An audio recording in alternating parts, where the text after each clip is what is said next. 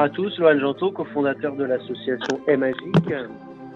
Euh, l'association Emagique, c'est une association de défense de l'environnement dont l'objet euh, principal c'est la plantation de haies mélangées en ville pour renforcer les corridors écologiques.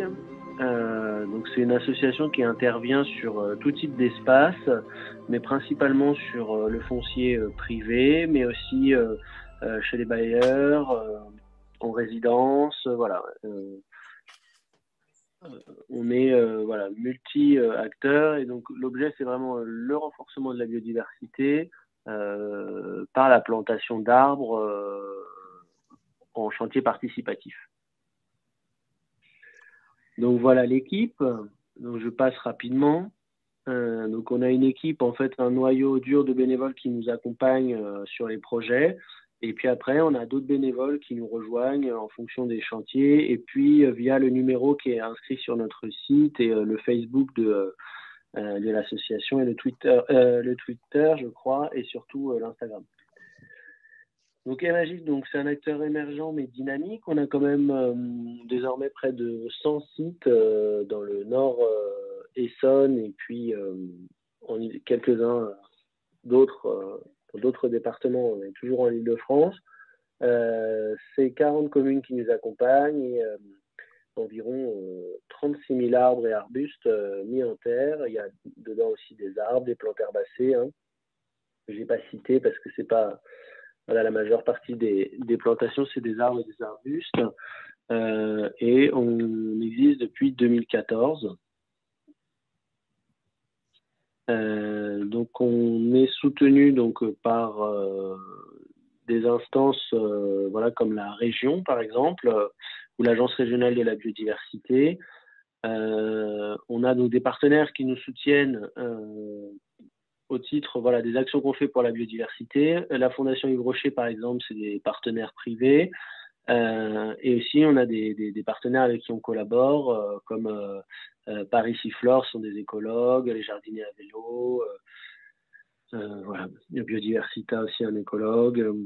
Tout ça pour dire que les actions et magiques, en fait, elles ont du sens que quand on arrive à sanctuariser vraiment les espaces, à faire en sorte que ils soient sortis de la gestion courante, qu'ils soient passés en gestion différenciée et qu'ils subissent plus les interventions de euh, voilà, des débroussailleuses, des tailles, des tontes régulières, mais que ce soit vraiment lié au cycle des saisons et aux besoins voilà, de l'écosystème euh, euh, qui est présent à, l'endroit où, on intervient. On a créé notre micro-réservoir de biodiversité. Quoi.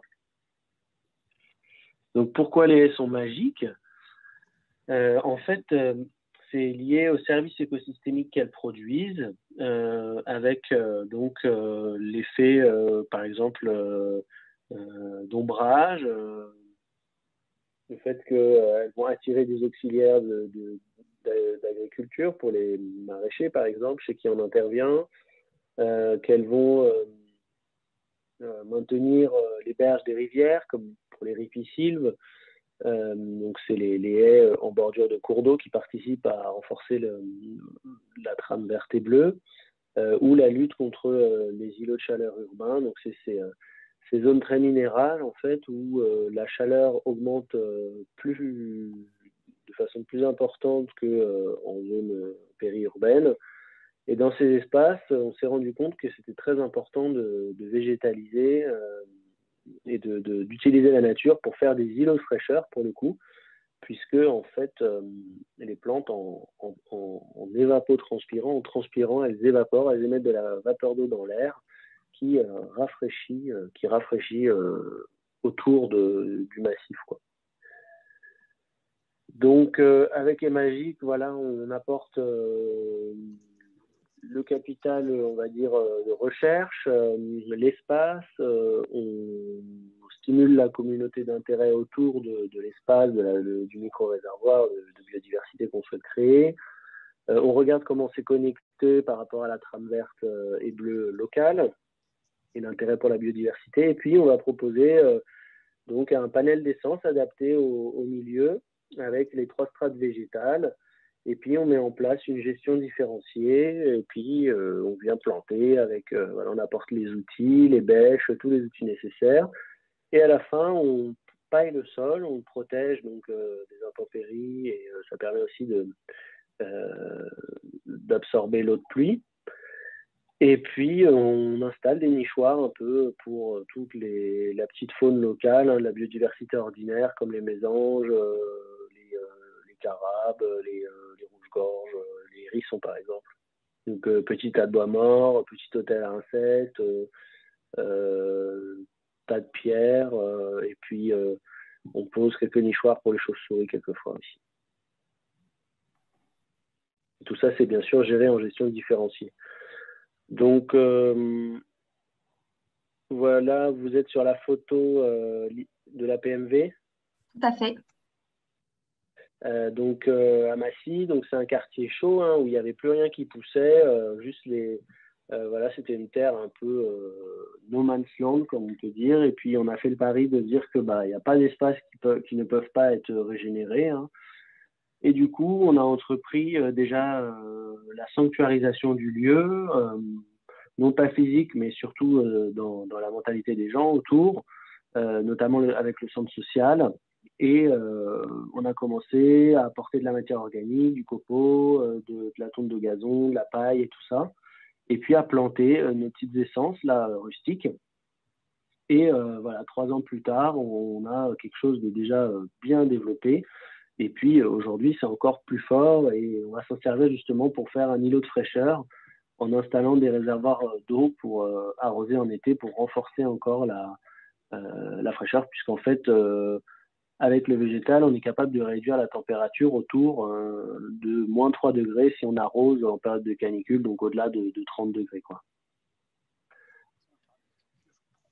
Donc euh, voilà l'exemple de la, des trames vertes, hein, comment on procède. Donc euh, par exemple là vous voyez sur cette image à derrière le buisson, donc euh, ce qui est en vert c'est l'allée Georges Pompidou, l'avenue, qui relie le bois de verrière avec la coulée verte.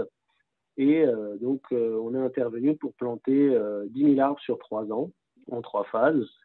Et ce que vous voyez en rouge, c'est les ruptures, donc c'est les zones où finalement il va y avoir des difficultés pour la faune et la flore pour traverser. En fait, c'est les routes qui, viennent rompre en fait la, euh, fonctionnalité du, du, corridor. À ces endroits, euh, donc on est intervenu particulièrement pour planter assez densément pour euh, voilà, faire des refuges. Et, et, on y travaille toujours aujourd'hui pour rendre encore plus fonctionnel ce corridor, donc permettre à la faune, à la flore de migrer, de se reproduire et d'aller d'un endroit à l'autre. En pied d'immeuble?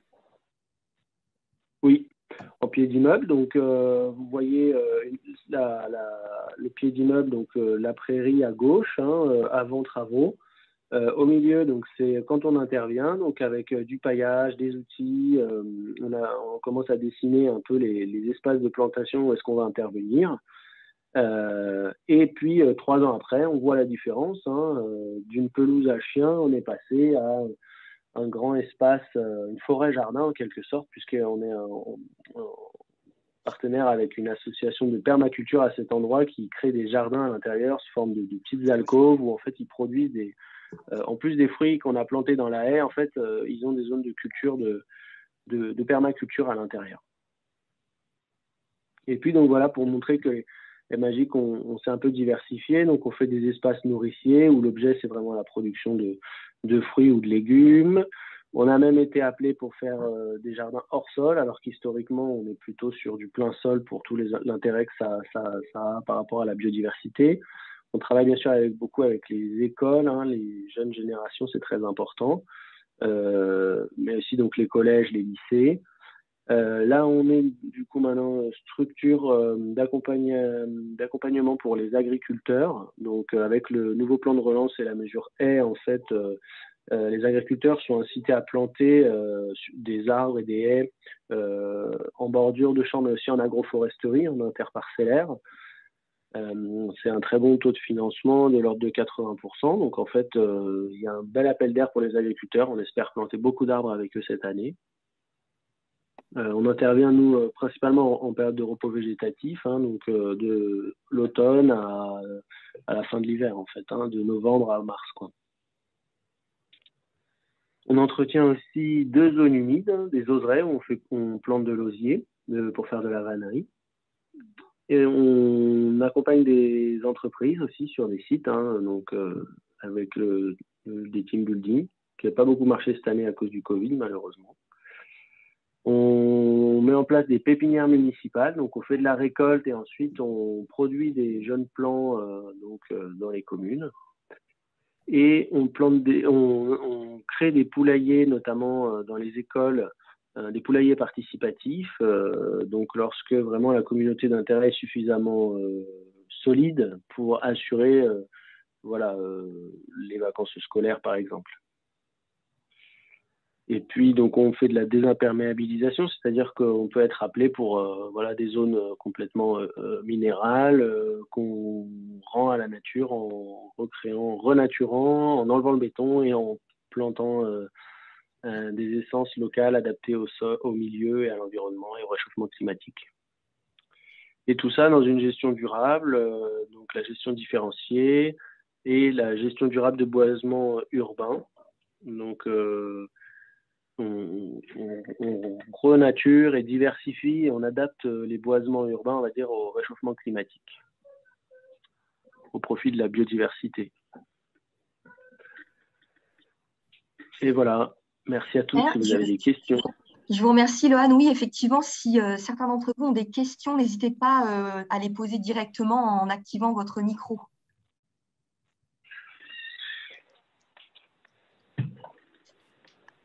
Alors, moi, je peux me, je peux me lancer. Hein, euh, Lohan, je vais, je, vais, je vais rebondir. Est-ce que vous pourriez nous dire quelques mots sur les activités qui ont eu lieu, je crois, sur les jardins de Jessie avec, avec vous et Magique il y a quelques temps Oui.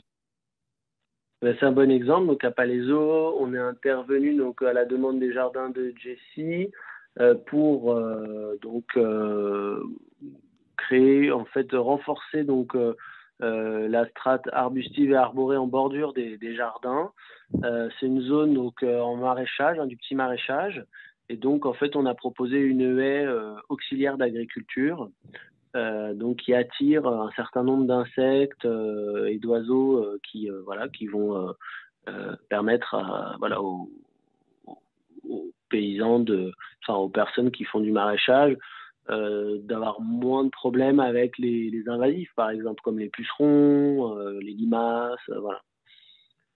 Et en fait aussi, la plantation d'arbres en bordure de, maraîchage, ça, ça, crée des mycorhizes avec les champignons, donc c'est une interaction entre les deux qui, qui est très bénéfique parce que le sol, en fait, il est jamais en carence d'eau, quoi. Ça, c'est intéressant. Et puis, il y a des échanges de bactéries, de sels minéraux, d'acides aminés aussi entre les, les, racines des arbres et les racines des plantes qui est assez, euh, assez bénéfique à long terme. Corinne, je vois que vous avez activé votre micro. Vous avez une question? Oui, absolument. Euh, déjà, merci pour votre présentation très claire et qui m'a vivement intéressée et pour toutes vos actions. Je ne vous connaissais pas, donc euh, voilà. J'ai une question. à Palaiso, nous avons, mais comme de nombreuses villes, de grandes résidences euh, personnellement, et euh, euh, j'habite dans une résidence que connaissent les, beaucoup de Parisiens, c'est la résidence du parc d'Ardennais, où nous avons un superbe parc de 7 hectares. Et la question se mhm. pose de, de avec beaucoup de chênes, beaucoup de, variétés d'arbres, et, et, ce, ce, parc est fragilisé en fait. Et je me posais la question.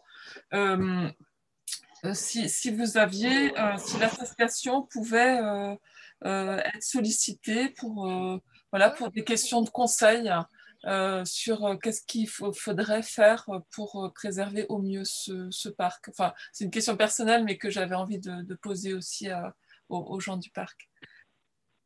Alors oui, tout à fait. Hein, c'est des choses qu'on fait. Donc en fait, ce serait comment, enfin l'angle, l'angle, ce serait euh, de, réponse, ce serait de dire bah, comment est-ce qu'on va faire pour passer en gestion différenciée en fait cet espace, hein, dans l'idée, même euh, partiellement et, euh, progressivement. donc on peut vous apporter des réponses sur cette thématique.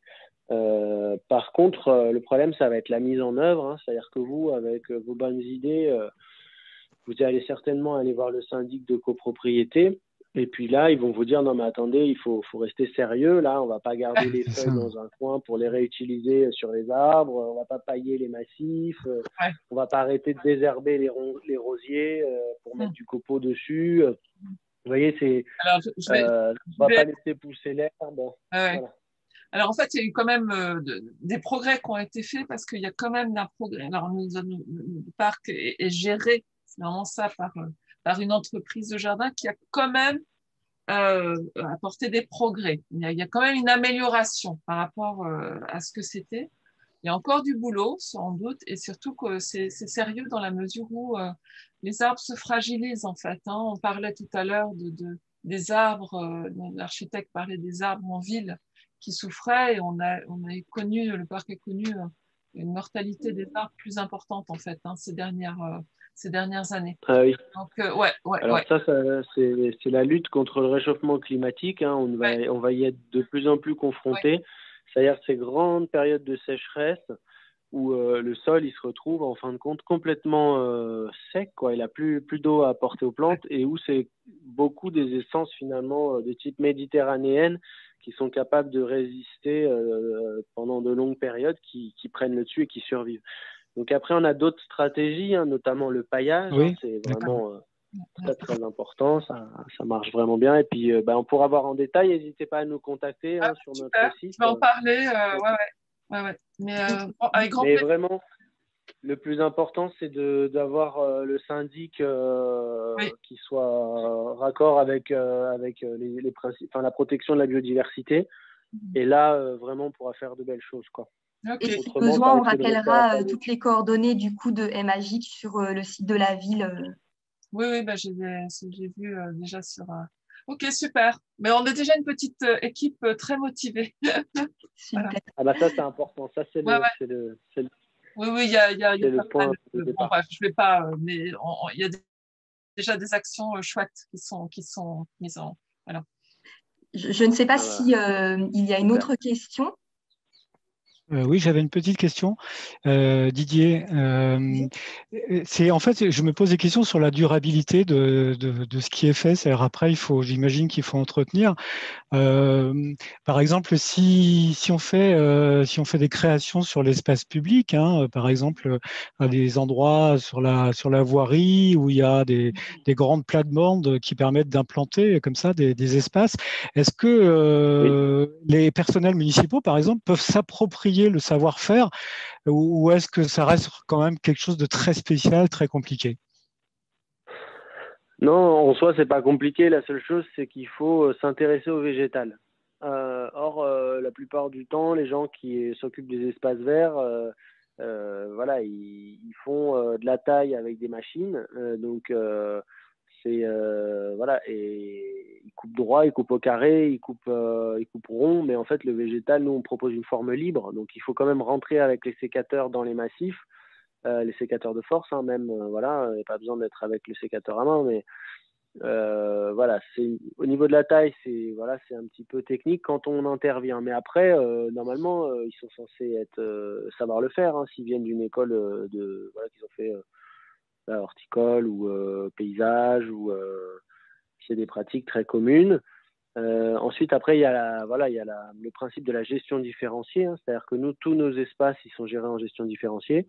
Et après, il y a le, la question du participatif, c'est quand même des espaces ouverts euh, aux citoyens.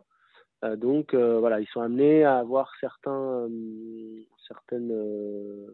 si par exemple l'espace il a besoin de deux entretiens par an, bah, il y en aura certainement un qui sera en participatif voire les deux. Et, voilà. et le problème euh, de faire intervenir les services techniques et les chantiers participatifs, c'est que finalement, euh, l'information passe pas toujours. Et quelquefois, ils rentrent avec la débroussailleuse dans les massifs pour enlever l'herbe. Et là, c'est là, c'est dramatique parce que quand c'est des tout petits sujets, ils frottent les, les, les collets et tout ça. Et euh, donc, pour l'instant, on n'a jamais eu vraiment la cohabitation sur un site euh, mais plutôt, euh, plutôt, plutôt, on laisse pousser et voilà, quand il faut intervenir, on, fait des chantiers participatifs en fait. C'est plutôt comme ça que ça se passe.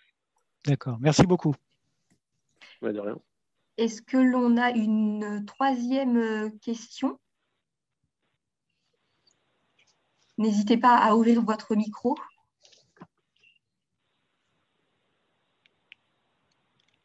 Alors, peut-être que moi, je peux euh, rebondir à nouveau. Euh, Loane, je ne sais pas si on a beaucoup parlé euh, des, projets menés avec les écoles tout à l'heure. On est, on est passé peut-être un petit peu vite sur cette slide. Si vous pouvez simplement repréciser quelques mots. Oui, donc dans les écoles, on peut proposer donc diverses choses, notamment donc la plantation de haies mélangées, euh, donc, c'est ces trois strates végétales, la plante est serrée.